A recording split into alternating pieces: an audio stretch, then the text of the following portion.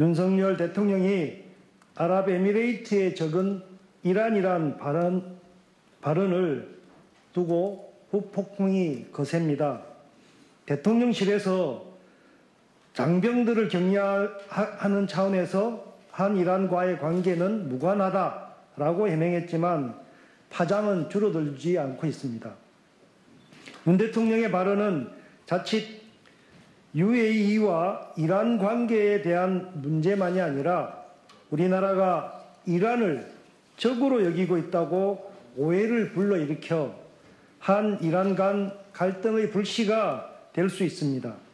실제로 이란 외교부 대변인은 윤 대통령의 발언을 중동 국가 관계에 대한 완전한 무지를 드러낸 것이자 외교적 타당성을 완전히 결여한 간섭하기 좋아하는 발언이라고 비판했습니다.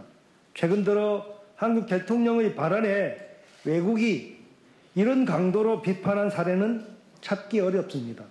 그렇다고 이란을 탓할 수도 없습니다. 사태가 여간 심각한 게 아니기 때문입니다. 우리는 윤 대통령의 발언이 지나친 단순 화법과 오해를 불러일으킬 수 있다는 것을 생각하지 못한 데서 비롯된 것일지라도 이란을 UAE의 적, 나아가 한국의 적이라는 의미로 정색하고 말하려 한 것은 결코 아니었다고 믿고 싶습니다. 이란과 UAE는 전쟁을 한 적도 없고 서로를 적으로 균형한 적도 없습니다.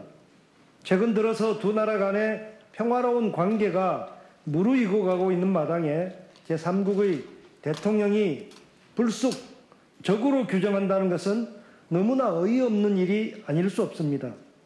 더구나 UAE에 주둔하고 있는 한국, 한국 장병들이 UAE에 적은 이란이라, 이란을 겨냥하고 있다는 오해를 받아 위험에 빠질 수도 있습니다. 그런 위험천만한 내용을 윤 대통령이 작심하고 발언한 것이라고는 도저히 생각할 수 없는 일입니다.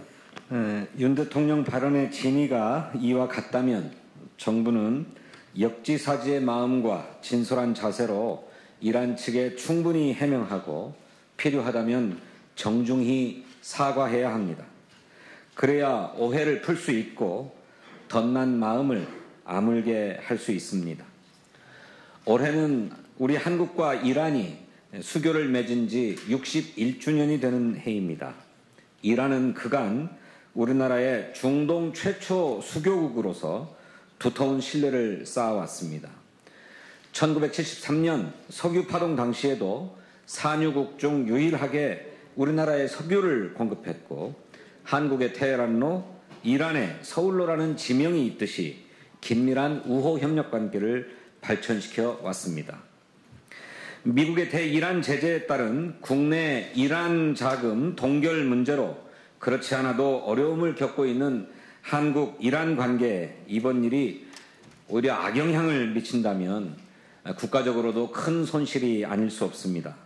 이번 기회에 국내 동결된 이란 자금 문제 해결, 국제 제재와 무관한 대이란 인도적 교역 확대 등 현안 해결을 위한 정부 차원의 실질적인 노력이 뒤따라야 할 것입니다.